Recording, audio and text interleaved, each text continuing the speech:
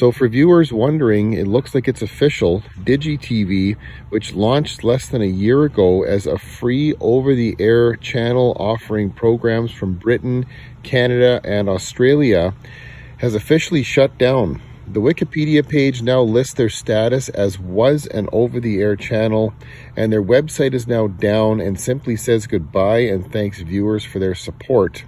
Some viewers on social media noted that programming stopped on all their stations August the 1st.